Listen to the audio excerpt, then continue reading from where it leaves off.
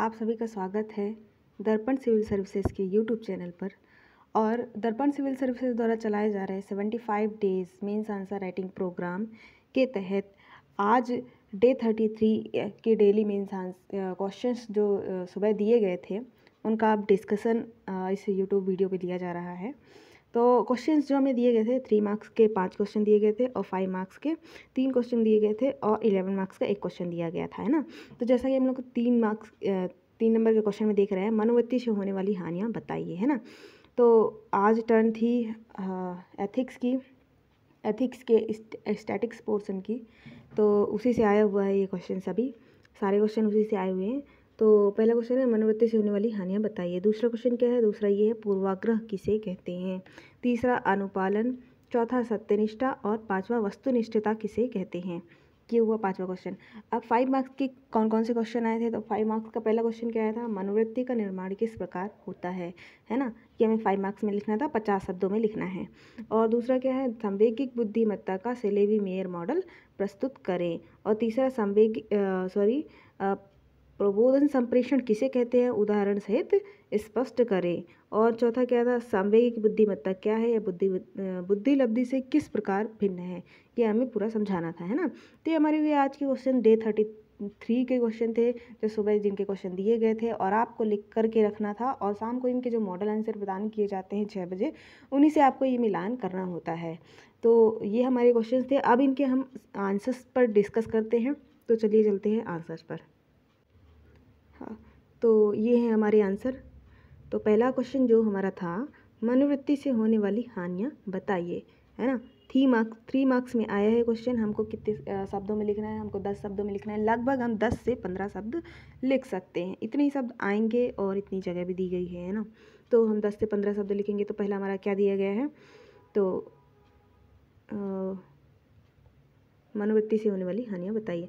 तो पहला, मनोवृत्ति से पहला रूढ़िवादिता का निर्माण हो जाता है। मनोवृत्ति मतलब हमारे मन की जो पहले से निर्मित हो गई है सूचना हमारे जब मन में आई थी, उसके प्रति जो हमारी भावना निर्मित हो गई या फिर उसी तरह हम व्यवहार करते हैं, है ना तो हमारी एक मन की दशा निर्मित हो जाती है ना तो उसे मनोवृत्ति कहते हैं। तो इससे हानियाँ क्या है है ना तो इससे रूढ़िवादिता का निर्माण हो जाता है जब हमारा मन जो है वो एक एक ही चीज़ को, उसको पता रहता है तो उससे रूढ़िवादिता का निर्माण हो जाता है ना। दूसरा, दृष्टिकोण तटस्थ नहीं रह पाता।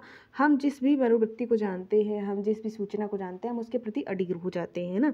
लचीलापन कम हो जाता है तो ये हमारी तीन हानियाँ हो गई मनोवृत्ति से, है ना। और दूसरा क्वेश्चन क्या था? दूसरा ये था कि पूर्वाग्रह किसे कहते हैं? पूर्व आग्रह है ना? पूर्वाग्रह। तो किसी वस्तु व्यक्ति या विचार आदि की वास्तविकता जाने बगैर, है ना? हम उसके वास्तविक रूप को नहीं जान रहे हैं, हमने उसका जाँच भी नहीं किया है, हमने उसकी कुछ चीज़ हमको नहीं पता है ना? कोई भी चीज़ नहीं पता है, लेकिन फिर भी हम लोगों की सुनी सुनाई बातों पर उसके धारणा या मत का निर्माण कर लेते हैं ना? तो उसे कहते हैं? पूर्वाग्रह मतलब बिना जाने बगैर ही हम किसी व्यक्ति या विचार या मत के प्रति अपनी भावना निर्मित कर लेते हैं ना कि वैसा होगा। जैसा कि जैसा जैसा एग्ज़ाम्पल हो सकता था कि लोगों की ये धारणा है बिना कुछ जाने कि जो गर्ल्स होती हैं, है ना, या लड़कियाँ होती हैं लेडीज़ होती जो भी होती हैं, है ना तो वो लोग स्कूटी या गाड़ी अच्छे से नहीं चलाती हैं, ये नहीं चला पाती हैं ना तो उनकी धारणा पहले से ही बनी हुई है। उन्होंने ना जाँच किया, ना परख की, ना वास्तविकता को जाना, है ना, लेकिन फिर भी उन्होंने ये पहले से ही बना लिया। तो ये इसको क्या कहते हैं? पूर्वाग्रह। तो ये हो गया हमारा पूर्वाग्रह। दूसरा आ, क्या दिया हुआ था हमारा? अनुपालन है ना? अनुपालन मतलब क्या होता है? उसका अर्थ होता है दिखावटी या कृत्रिम ठीक है ना? अनुपालन का अर्थ क्या होता है? दिखावटी या कृत्रिम है ना? कोई व्यक्ति जब दिखावटी रूप में संप्रेषण के निर्देशों का पालन करता है कोई व्यक्ति जो होता है, संप्रेषण मतलब होता है कोई सूचना देना, है ना? तो जब कोई सूचना दे रहा होता है तो वो व्यक्ति वैसे ही ट्रीट करता है, वैसा ही व्यवहार करता है जिस प्रकार की उसको सूचना दी जा रही है ना? लेकिन वह आंतरिक रूप से असहमत होता है है ना? मतलब वो अंदर ही अंदर क्या होता है, असहमत होता है, उसको नहीं मानता है, लेकिन जब तक वो संप्रेषण माध्यम है, तब तक वो ऐसा दिखावटी करेगा कि हाँ उसको मान लिया है है ना?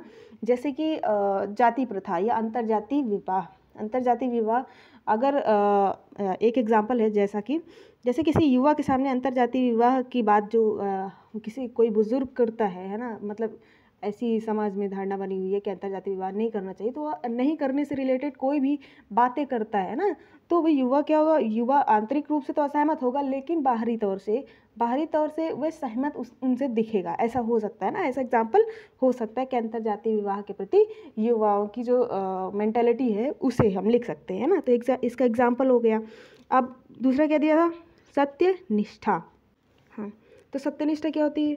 सत्यनिष्ठा आंतरिक, वह आंतरिक भावना होती है, वह आंतरिक भावना जिससे जिसमें व्यक्ति के नैतिक सिद्धांतों, मूल्यों, विश्वासों को उससे व्यवहार में पूर्ण संगति होती है। मतलब जो व्यक्ति के खुद के सिद्धांत हैं, है ना? खुद के मूल्य हैं और खुद के जो विश्वास है, वो उस, वो अपने व्यवहार में उसी को उतारता है। मतलब वो जो कहते हैं, वो जो भी कहता है है ना? वो करता भी है है ना? तो जो कहने और करने में जिसकी समानता होती है, वह सत्यनिष्ठ होता है। अगर उसने बोला एक एग्ज़ाम्पल जैसा, है ना? एग्ज़ाम्पल जैसे भ्रष्टाचार, है ना? अगर हम कहते हैं, अगर कोई कहता है कि मैं भ्रष्टाचार नहीं हूँ, है ना? मैं भ्रष्टाचार नहीं करता या नहीं हूँ मैं भ्रष्टाचार, मैं भ्रष्टाचारी नहीं हूँ, भ्रष्टाचार नहीं करता तो भ्रष्टाचार करना मतलब ना भी करे, है ना? वो अपने व्यवहार में बिता रहे कि वो भ्रष्टाचार नहीं करता है। तो उसको क्या कहेंगे? सत्यनिष्ठ व्यक्ति कहेंगे। तो यही होती है हमारी सत्य निष्ठा तो इसका एग्ज़ाम्पल हम लोगों ने समझ लिया। नेक्स्ट क्वेश्चन क्या था? नेक्स्ट था, वस्तुनिष्ठता किसे कहते हैं? वस्तुनिष्ठता वस्तुनिष्ठता से तात्पर्य है किसी विषय पर लिखे गए निर्णय प्रमाणिक, सही या तथ्यों पर आधारित हो, है ना? मतलब किसी विषय पर जो निर्णय लिया गया है है ना, वो प्रमाणिक होना चाहिए, है ना, प्रमाणिक होना चाहिए, तथ्य पर आधारित होना चाहिए। हाँ उसके लिए हमको साक्ष्य होने चाहिए, साक्ष्य उसके मिलने चाहिए। क्या होती है? वस्तुनिष्ठता, है ना? जैसा कि जैसा कि मान लीजिए कि इंटरव्यू के लिए बहुत सारे लोग आते हैं ना किसी के पास इंटरव्यू के लिए बहुत सारे लोग आते हैं लेकिन हम उसी को उसी को जॉब प्रेफर करेंगे या फिर उसी को उसकी योग्यता के अनुसार हम जॉब देंगे या उसको नौकरी देंगे जो भी होगा है ना? जो उसकी योग्यता है ना कि आ, कोई अन्य बाहरी वजह से है ना? तो वही वस्तुनिष्ठता उसी की योग्यता से हम उसको दे रहे हैं उसके साक्ष्य उसके प्रमाण है उसकी योग्यता है है ना? तो ये होती है वस्तुनिष्ठता। अब फाइव मार्क्स के क्वेश्चन में हम लोग चलते हैं। पहला क्वेश्चन क्या है? मनोवृत्ति का निर्माण किस प्रकार होता है है ना? मनोवृत्ति व्यक्ति के मन की एक दशा है है ना? मन की एक दशा है, जिसमें मूल्यांकन परक विशेषता विशेषता होती है। वो मूल्यांकन कर सकते हैं ना, उसकी ऐसी मन की दशा होती है कि वो आगे मतलब किसी भी विषय के बारे में, जो जो विषय वो जानता है, उसके बारे में वो मूल्यांकन कर सकता है ना? तो इसका निर्माण किस किस प्रकार से होता है? तो एक होता है अनुवंशिक लेकिन अनुवंशिक कारण बहुत ही कम होता है। ये कलात्मक विषयों में माना जाता है। कलात्मक विषयों में लगभग ये होता है, जैसे कि गाना गाना, है ना? या फिर नृत्य करना, इन सब विषयों में अनुवंशिक कारक हो सकता है। आवश्यकता पूर्ति दूसरा है आवश्यकता पूर्ति। आवश्यकता पूर्ति, जिस चीज़ से आपकी आवश्यकता पूर्ति हो रही है, लोगों की आवश्यकता पूर्ति हो रही है, उस, उसके प्रति लोगों की सकारात्मक मनोवृत्ति का निर्माण हो जाएगा। जैसे कि कोई राजनीतिक पार्टी द्वारा लोगों की आवश्यकताओं को पूर्ति की जाती है तो उस राजनीतिक पार्टी के प्रति लोगों की मानसिकता जो हो जाती है मनोवृत्ति जो हो जाती है, वो सकारात्मक हो जाती है। जैसे जैसे उदाहरण क्या हो सकता है? जैसा कोरोना के टाइम में जब कोरोना की पहली लेयर आई थी, है ना? तो उस टाइम पे वैक्सीनेशन वैक्सीनेशन जब फ्री जिस पार्टी ने भी, जिस राजनीतिक पार्टी ने सरकार ने फ्री किया, उस राजनीतिक पार्टी के प्रति लोगों की मानसिकता सकारात्मक हो गई, है ना? या सकारात्मक हो गई, हो मतलब कुछ लोगों की हुई भी नहीं हुई, लेकिन लगभग हो गई, है ना? तो इसे क्या कहेंगे? इसे आवश्यकता पूर्ति से मनोवृत्ति का निर्माण कहेंगे। दूसरा क्या, तीसरा क्या दिया था? तीसरा दिया होता है प्रदत्त सूचनाओं से। प्रदत्त सूचनाओं से। उदाहरण मीडिया। मीडिया से हमको कोई जानकारी प्राप्त होती है कि भाई मतलब कोई भी जानकारी प्राप्त होती है कि जैसे कि पाकिस्तानी पाकिस्तान पाकिस्तान ने पाकिस्तानी आतंकवादियों ने आ, कहीं भी युद्ध किया या आक्रमण किया कुछ भी किया तो हम पाकिस्तान के जो आतंकवादी हैं उसके प्रति हमारी नकारात्मक मनोवृत्ति बन जाती है ना? तो ये हुई प्रदत्त सूचना है ना? और चौथा क्या दिया हुआ है? व्यक्तिगत अनुभव। व्यक्तिगत अनुभव। व्यक्तिगत अनुभव जैसा कि जैसे कि दंगे के प्रति। अगर दंगे में हम शामिल थे है ना? दंगे में मतलब हम फंस गए थे या फिर शामिल थे उसमें आ, किसी भी तरह से दंगे से हम प्रभावित थे तो हम दंगे के प्रति नकारात्मक मनोवृत्ति का निर्माण कर लेंगे कि दंगा दंगा फसाद जो है वो अच्छा नहीं होता है है ना? तो ये दंगे के प्रति व्यक्तिगत अनुभव से हमारी जो मनोवृत्ति का निर्माण हुआ है तो वो ये होता है। और पाँचवा क्या हुआ? पुरस्कार या दंड से। पुरस्कार अगर कोई अच्छा काम कर रहा है ना? उस काम के लिए जो भी व्यक्ति कर रहा है उसके लिए अगर पुरस्कार दिया जाता है तो वो प्रेरित हो जाता है और उसके प्रति जो वो काम कर रहा है उसके प्रति उसकी सकारात्मक मनोवृत्ति का निर्माण हो जाता है। और इसी प्रकार दंड में है कि अगर वो आ, कोई काम कर रहा है और उसे मतलब उस काम के लिए मतलब अगर उसने मान लीजिए चोरी की है ना? तो उसके लिए उसे दंड मिलेगा। तो चोरी के प्रति उसकी नकारात्मक मनोवृत्ति का निर्माण हो जाएगा है ना? तो इस प्रकार से पुरस्कार या दंड से मनोवृत्ति का निर्माण होता है। सांस्कृतिक कारण हमारी संस्कृति में जैसे जैसे भी नियम है है ना? हमारी संस्कृति में जो भी रीति रिवाज है उसके प्रति हमारी सकारात्मक मनोवृत्ति रहती है। जैसे जैन धर्म में अहिंसा जैन धर्म में अहिंसा है तो अहिंसा के प्रति हमारी आ, क्या होती है कि सकारात्मक मनोवृत्ति होती है कि अहिंसा नहीं करना चाहिए अहिंसा करना गलत है ना? अब समूह संबंध समूह संबंध अगर किसी आप समूह में रहते हैं, वो समूह एक विशेष कार्य मतलब विशेष कार्य करता है या उसके प्रति सकारात्मक मनोवृत्ति रखता है तो आपकी भी सकारात्मक मनोवृत्ति हो जाएगी।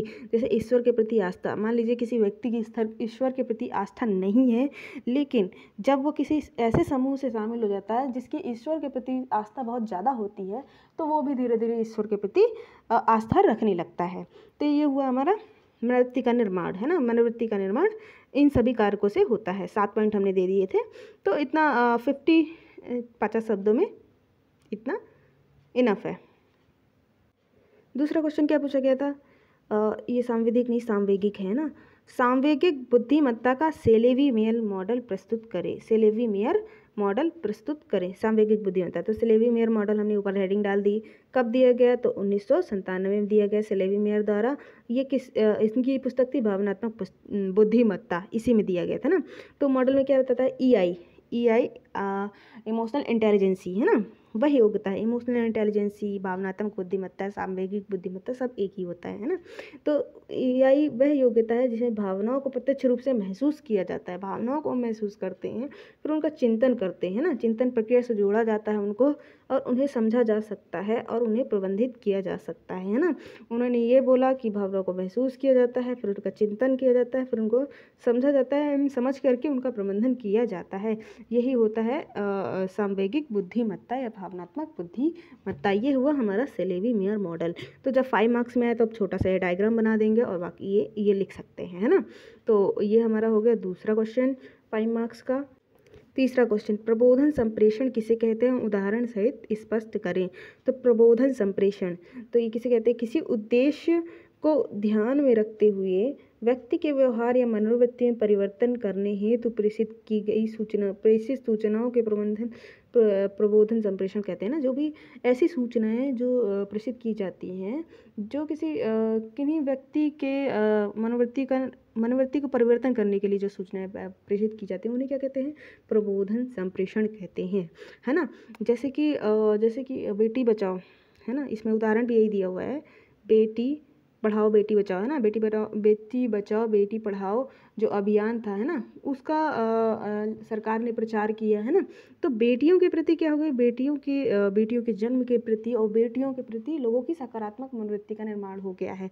जबकि इसके पहले इसके पहले अपेक्षाकृत अपेक्षाकृत नकारात्मक नकारात्मक मनोवृत्ति थी जिसमें भ्रूण हत्या देखने के लिए मिलती थी और कई प्रकार के बहुत सारी कुरीतियाँ देखने के लिए मिलती थी है ना? तो बेटी बचाओ बेटी पढ़ाओ के माध्यम से लोगों में सकारात्मक मनोवृत्ति का निर्माण कर दिया गया है ना? तो ये दूसरा क्या लिखा है? संप्रेषण। संप्रेषण का मतलब क्या होता है? व्यक्ति तक सूचनाओं का सूचनाओं का पहुंचाना है ना? व्यक्ति तक सूचनाओं का को पहुंचाना ये क्या कहलाता है? संप्रेषण। और प्रबोधन क्या होता है? इसी सूचना के माध्यम से मनोवृत्ति परिवर्तन करना जो हम सूचना व्यक्ति तक पहुँचा रहे हैं उससे उनका आ, आ, जो मनोवृत्ति है, वो चेंज हो जाए, है ना? तो इसे हम कहते हैं प्रबोधन संप्रेषण। ये उदाहरण तो मैं पहले ही समझा चुकी हूँ। तो ये हुआ हमारा फाइव मार्क्स के तीनों क्वेश्चन हो चुके हैं। अब हम चलते हैं इलेवन मार्क्स का जो क्वेश्चन दिया गया था। सांवेगिक बुद्धिमत्ता क्या है? यह बुद्धि लब्धि से किस प्रकार भिन्न है है ना? संवेगिक बुद्धिमत्ता मतलब इमोशनल इंटेलिजेंसी तो संवेगिक बुद्धिमत्ता तो संवेगिक बुद्धिमत्ता क्या है? हम पहले इसकी परिभाषा देंगे, है ना? तो संवेगिक बुद्धिमत्ता मनुष्य की वह बौद्धिक योग्यता है है ना? वह बौद्धिक योग्यता है जिससे वह अपने एवं दूसरों के संवेगों संवेगों मतलब भावनाओं, है ना? जो भी भावनाएँ आ रही, जो भी आवेग आ रहे हैं, उनको समझते हुए प्रत्येक स्थिति में निर्णय लेते हैं। हम खुद की भावनाओं को समझते हैं और दूसरों की भावनाओं को समझते हैं, है ना? और उनके हिसाब से निर्णय लेते हैं, जो उस वक्त सही रहता है ना? तो ये क्या कहलाता है संवेगिक बुद्धिमत्ता। कुल मिला के हम शॉर्ट में कह सकते कि भावनाओं को समझना और उनके उनका प्रबंधन करना और उनके अनुसार निर्णय लेना, क्या कहलाता है? सांवेगिक बुद्धिमत्ता कहलाती है। तो इसे हम सांवेगिक बुद्धिमत्ता को भावनात्मक बुद्धिमत्ता भी कहते हैं। भावनात्मक बुद्धिमत्ता भी हम इसे कहते हैं, है ना? और ई e भी कहा जाता है इमोशनल इंटेलिजेंसी है ना?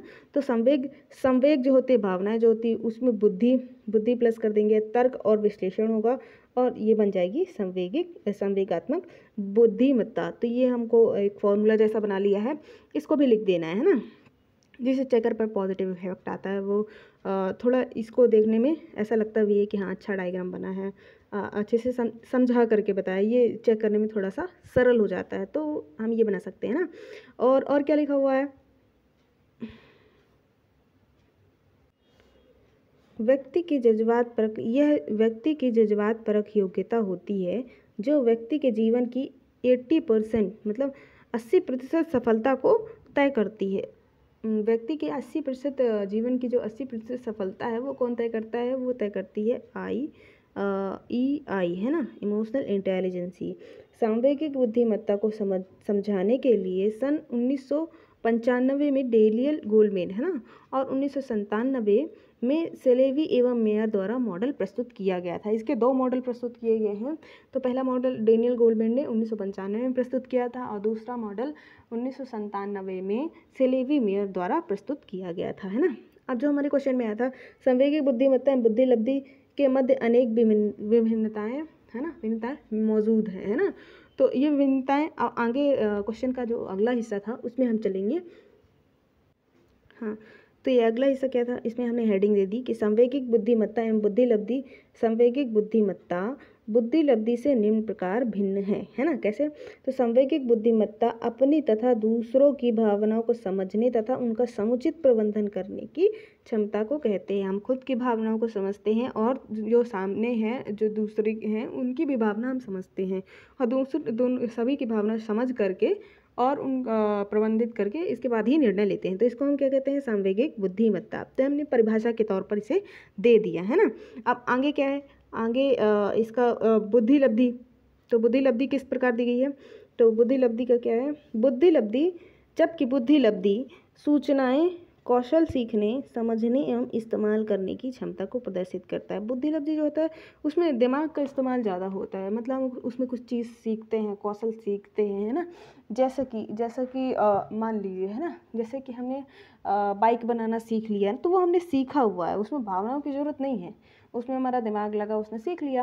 और जैसे साइंटिस्ट लोग काम करते हैं, जो भी साइंटिस्ट होते हैं, वो काम करते हैं ना? तो वो अपना दिमाग इस्तेमाल करते हैं, बुद्धि इस्तेमाल करते हैं और वो वहाँ से वो अपना काम करते हैं ना? तो इस प्रकार कौशल सीखने, समझने एवं इस्तेमाल करने की क्षमता होती है। आई ई, अब दूसरा पैराग्राफ होता है। ई आई भावनाओं से संबंधित होती है। इसमें टीम वर्क नेतृत्व, संबंध प्रबंधन की योग्यता होती है। इसमें टीम वर्क होगा, है ना? टीम वर्क जब टीम वर्क हम करेंगे तो जो हमारी टीम है, उसकी सबकी भावनाएँ होंगी। तो सबको भावनाओं को समझ करके प्रबंधित भी करना है तो उनकी भावनाओं को समझा जाता है ना? नेतृत्व तभी हो पाएगा जब हम अच्छे एक वक्ता होंगे, है ना? उनकी सभी की भावनाओं को समझ करके और उनको प्रबंधित कर पाएँगे और संबंध प्रबंधन की योग्यता होती है, जबकि बुद्धि लब्धि का संबंध सीखने एवं समस्या समाधान करने से संबंधित है। सीखते हैं, हम कुछ सीखते हैं, जैसे हमने सीख लिया, मान लीजिए हमने सीख लिया एलपीजी गैस सिलेंडर जो है उसको रिपेयर करना सीख लिया है तो हमने हमें सीख लिया है। अब जो भी उसमें समस्या आएगी तो हम उसे रिपेयर कर सकते हैं ना? तो हम उस उस समस्या का समाधान कर सकते हैं। तो इस, इसमें कोई भावना नहीं लगानी है, इसमें कोई भावना नहीं आ रही है। इसमें सिर्फ़ दिमाग लग रहा है, हम सीख करके उसी को प्रेजेंट कर रहे हैं, कर रहे हैं ना? वही काम हम कर रहे हैं। तो इस प्रकार ये बुद्धि लब्धि हो गई, है ना? और आगे के पैराग्राफ में हम क्या लिखते हैं? आगे के पैराग्राफ में लिखा है कि ई आई का व्यक्ति की सफलता में जो ई आई होती है, वो व्यक्ति की सफलता में एट्टी परसेंट तथा आई क्यू जो बुद्धि लब्धि है, का केवल बीस प्रतिशत योगदान होता है है ना? मतलब कि सांवेगिक बुद्धिमत्ता जो होती है, सांवेगिक बुद्धिमत्ता जो होती है, उसका जीवन, व्यक्ति की सफलता में अस्सी प्रतिशत योगदान है, जबकि बुद्धिलब्धि बुद्धिलब्धि मतलब आई क्यू आई क्यू का योगदान कितना है? केवल और केवल बीस प्रतिशत है।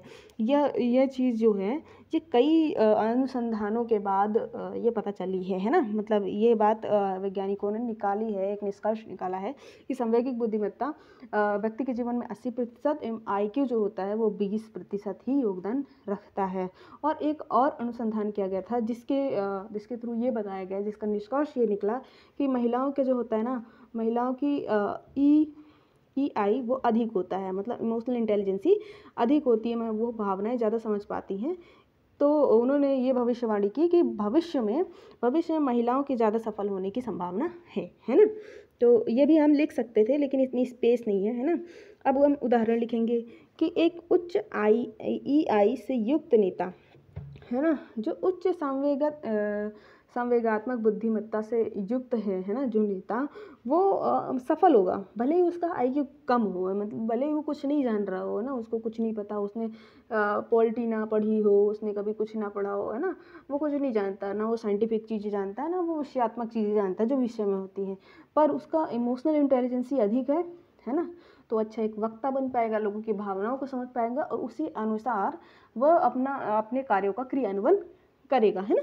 तो इस वजह से वो सफल होगा। तो इमोशनल इंटेलिजेंसी से युक्त जो नेता होता है, वो भले उसका आईक्यू कम हो, पर वो सफल होगा। और दूसरी ओर क्या होता है? दूसरी ओर उच्च आईक्यू वाले व्यक्ति जो होते हैं, वो ज़्यादातर वैज्ञानिक क्रियाकलापों में दक्ष होते हैं, क्योंकि वहाँ आईक्यू ही चाहिए है है ना? बुद्धि की हमें ज़रूरत होती है वैज्ञानिक क्रियाकलापों में तो हम बुद्धि की ज़रूरत जो जहाँ होती है कि कि वैज्ञानिक अनुसंधानों में, वहीं करते हैं तो उनकी वहाँ ज़्यादा अधिक दक्ष होते हैं, वो वहीं जाते हैं ज़्यादातर, है ना? तो ये हमारा हुआ इलेवन मार्क्स का क्वेश्चन। ये अब आज का कंप्लीट हो गया है। Date thirty three means answer writing ये हमारी पूरी होती है ना? इन प्रश्नों की पीडीएफ या फिर इनके उत्तरों की पीडीएफ आप लेना चाहते हैं तो इस वीडियो के डिस्क्रिप्सन बॉक्स में उनकी लिंक दी हुई है और हमारे टेलीग्राम चैनल की भी लिंक दी हुई है और दर्पण सिविल सर्विसेज़ का जो ऐप है, वहाँ भी रोज़ दस बजे दस बजे सुबह आंसर पोस्ट किए जाते हैं शाम को छः बजे उत्तर पोस्ट किए जाते हैं जो भी इसके आंसर्स होते हैं। तो उनका आप लिखने का प्रयास करें एवं शाम को जब आंसर आते हैं जब पोस्ट किए जाते हैं तो उन आ, उनका अपने आंसरों से मिलान करें। एवं आ, ये आ, जो वीडियो है इसे भी देख करके आप समझ सकते हैं ना? तो इससे इससे पहले भी इसी सीरीज़ की कई वीडियो आ चुकी हैं। तो उन्हें अगर देख दे, आप देखना चाहते हैं डिस्क्रिप्शन बॉक्स में उनकी भी लिंक दी गई है तो उनको भी आप जाकर देखें है ना? उसको भी आप छोड़े नहीं उन्हें भी देखें ताकि ये सीरीज़ जो है चलती रहे और आपकी भी तैयारी नियमित तौर पर चलती रहे है ना? तो उनका भी वीडियो नीचे दिया गया है और अगर आप चैनल को सब्सक्राइब कर लीजिए ताकि रोज़ जब वीडियो अपलोड हो तो आपके आपके फ़ोन में नोटिफिकेशन आ जाए बेल आइकन आप पहले से दबा दीजिएगा ताकि नोटिफिकेशन आपको आ जाए और आप ये वीडियो देख लें ताकि इसमें नियमित बनी रहे, है ना? ताकि आपकी तैयारी अच्छे से हो सके। धन्यवाद। मिलते हैं आप कल की वीडियो के साथ डे थर्टी फोर की वीडियो के साथ।